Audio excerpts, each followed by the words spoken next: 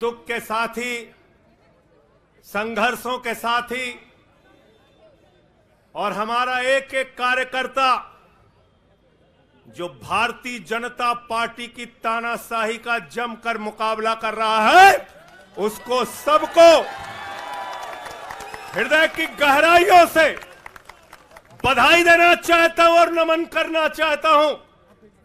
और इस आम आदमी पार्टी के कार्यालय से देश के को अगर मेरी आवाज़ सुनाई दे रही है तो मैं बताना चाहता हूँ, मैं बताना चाहता हूँ यह आम आदमी पार्टी है, हम आंदोलन की कोख से पैदा हुए हैं। तुम्हारे किसी बदर घुड़की से डरने वाले नहीं हैं। तुम्हारे किसी बदर घुड़की को डरने वाले नहीं हैं। तुम हमारी पार्टी को बर्बाद करना चाहते हो? अरविंद केजरीवाल को तुमने जेल में भेज दिया। मनीष सिसोदिया को तुमने जेल में भेज दिया। सत्येन जैन को तुमने जेल में भेज दिया। उनका गुनाह क्या है? उनका गुनाह यह है कि वो दिल्ली की दो करोड़ जनता को अच्छी शिक्षा देना चाहते हैं। उनका गुनाह यह है कि वो दिल्ली के बुज़ुर्गों को तीर्थ यात्रा कराना चाहते हैं।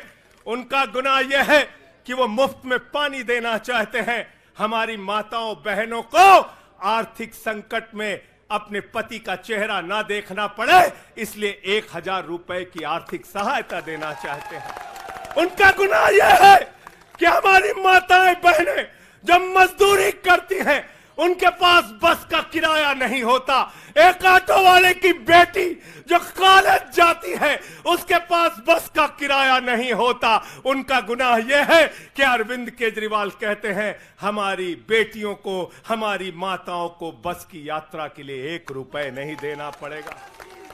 तुम हिंदुस्तान की सबसे बेहतरीन सरकार, अरविंद केजरीवाल की सरकार को गिराना चाहते हो तोड़ना चाहते हो, हमारे विधायकों को डराना चाहते हो आतिशी को गिरफ़्तार करोगे, सौरभ भारद्वाज को गिरफ़्तार करोगे, दुर्गेश पाठक को गिरफ़्तार करोगे, राघव चड्डा को गिरफ़्तार करोगे, हमारे विधायकों के घर पे छापेमारी करोगे इनकम टैक्स का छापा गुलाब सिंह पे, कैलाश गहलोत से साढ़े चार घंटे पूछताछ, तानाशाही मचा रखी है इस देश के अंदर ताना तानाशाही मचा रखी